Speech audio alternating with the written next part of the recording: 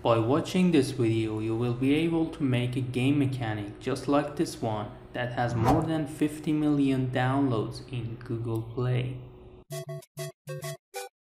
Okay, let's create this sorting puzzle game in this size. I'm gonna copy the size, put it here as usual, and let's call this game layer layout and this one gonna be game sheet. And this one is gonna be BG layer and game layer. And let's just select percentage text. And now we need to add our background to this layer. And I'm gonna put it in the middle. Oh I have a copy. And make this bigger okay? And I'm done with this let's call this BG lock the BG layer and in the game I need to have oh yeah it's okay. In the BG uh, in the game layer I need to have my glass object and I'm gonna call this glass and in uh, in here we need to set snap grid on and make the snap uh, size to 56 by 56 and let's just uh, create these objects very quickly. I'm gonna use uh, control while dragging a object to create new one okay? So I have six classes and I need to have my ball object. And it has eight frames totally and the animation speed is zero this is my default construct settings and you can set it to uh, zero in the settings okay? So we have this ball object and uh, let's call this ball and add family of ball which is going to be f ball and add family of class which is going to be f class and uh, this f ball needs to have tween behavior and index variable and also parent variable that's gonna be the class class UID and f class needs to have uh, balls count local variable okay? So now I have these uh, settings here and I need to add balls manually okay? So let's do this. Roll here opening one rolls frame two just making one frame four we have this and now this is okay yeah we have uh, four glasses full and two glasses empty because we need to get uh, we need to make the game keep going okay let's go in the code and add the codes okay Okay, now let's add two variables. First one is going to be selected class that's going to have the UID of selected class and the second one is going to be selected ball frame and now let's say on glass on glass created we need to set the index and uh, parent of each ball inside the glass okay and the index is going to be uh, like this index 1 index 2 3 and 4 and for doing that we need to go in here for each ordered ball order by ball.y and it's going to be descending because we're going to start from bottom to top.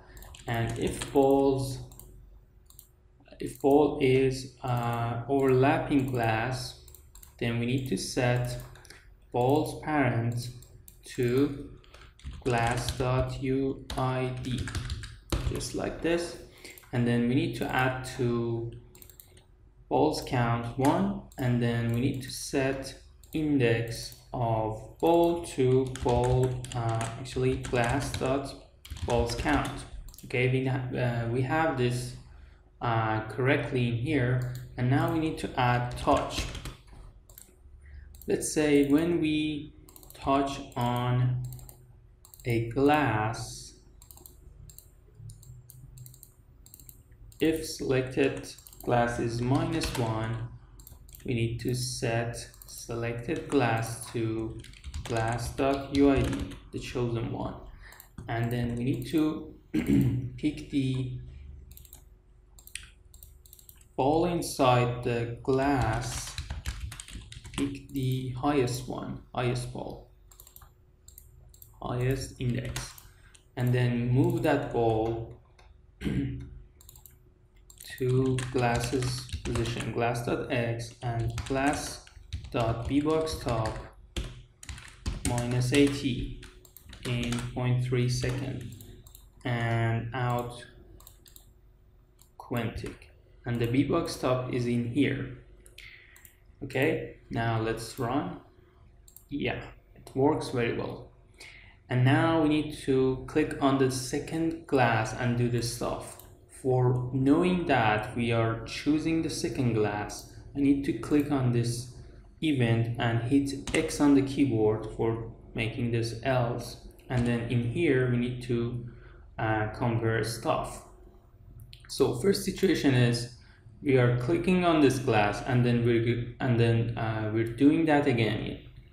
We click twice on the on a on a glass okay? So let's say if selected glasses id is equal to selected glass this variable.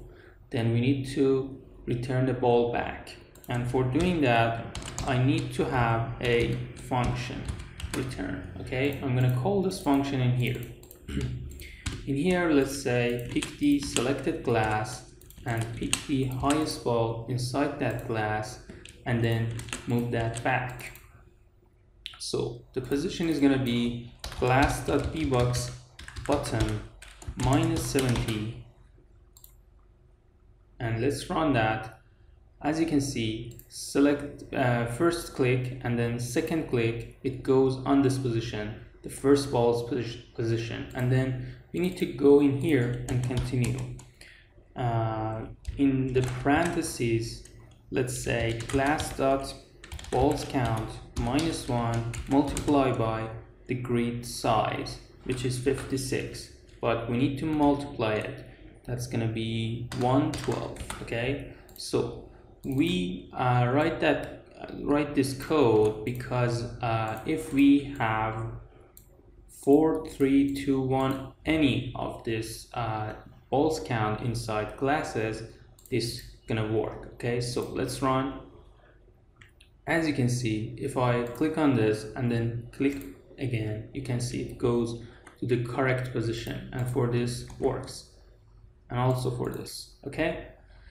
Now we need to reset the selected glass in here. So select selected glass is gonna be minus one and then we're gonna go and click several times. All right? Now uh, in here we have the situation number two. We uh, we clicked on this and then we and then we click on the second glass which is this okay? But it may have no uh, no balls inside it or it may have some balls. Let's add that situation okay?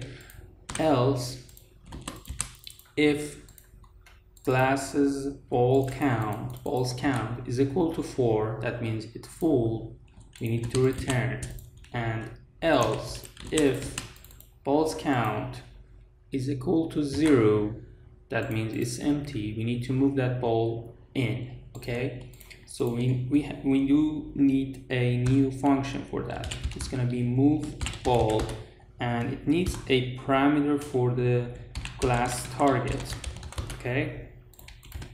And in here, we need to say if UI is equal to glass target.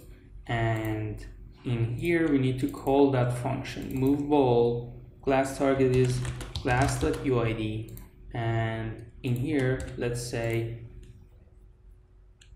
yeah just uh, just a quick edit for this. Copy paste first one needs to be selected glass first clicked class and the second one needs to be f class uh, UID class target the second clicked class okay? So this one is first this one is second. And now we need to uh, we need to add to uh, balls count of f class. Because the ball goes from this one to this one. And we need to subtract from balls count of the first glass and then we need to pick the highest ball inside the glass which is selected and then set its parent to fclass.uid and index to fclass.balls count okay? And then we need to move that ball. So in here hit B and copy this and move this in here. All right let's run.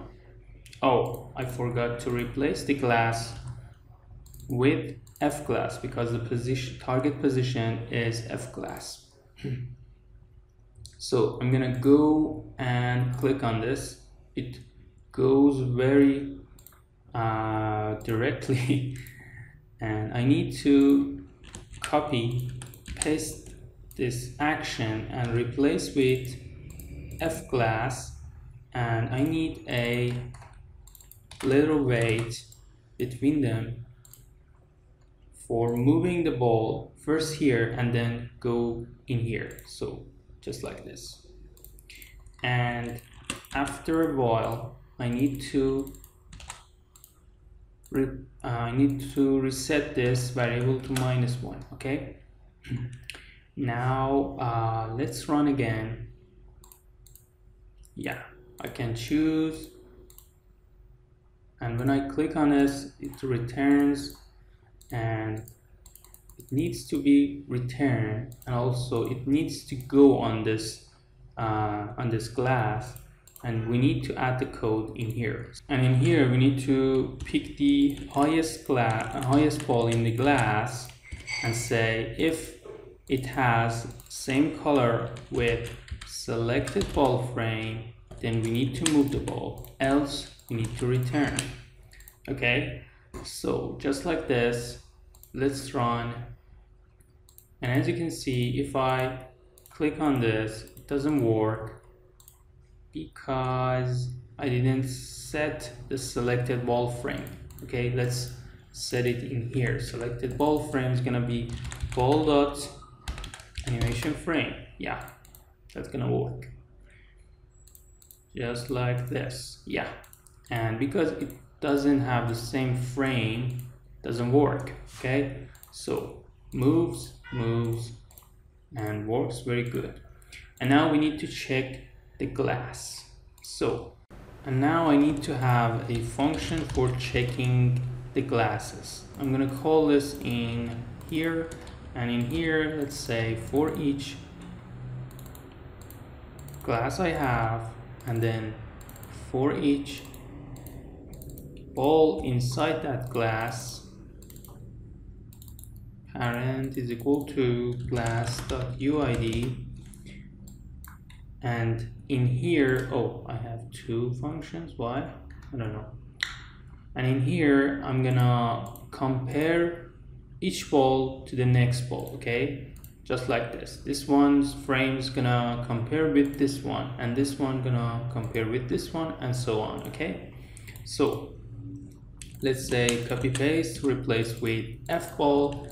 If uh, has that parent and index is equal to ball dot index plus one. That means if you're uh, choosing this one the next one the f ball gonna be this okay? And then if f balls frame is equal to ball dot animation frame we need to uh, we need to add to a local variable. I'm gonna add this and call this uh, correct count. And in here I'm gonna add the correct count. And in here let's say if correct count is equal to 3 3 times okay first second and third. Then we need to say glass is done and uh, glass is done and full full with correct balls. So I'm gonna add a new local variable called done and I'm gonna say glass is done in here. And every time I check I need to set all dones to zero and in here we're done and for knowing that it works I'm gonna make the opacity to 50 oh my god wireless mouse keyboard doesn't work. Why? Oh, okay run. Yeah we have this and yeah it works and then we need to say if uh, if the glasses balls count is equal to zero it's already done okay? And now for knowing that if all glasses are done and we completed the level we need to hit in here and say if glass done is equal to zero else and this is a trick for knowing that if all glasses are done and uh, in here we need to add a new layer for level done and this layer this layer just have a text object for showing this level done text level done. And it needs to be false and also in here let's say opacity of layer gain to 30 and then make the layer level done visible. Okay very quickly. Yeah we're done. Thanks for watching. Have a great day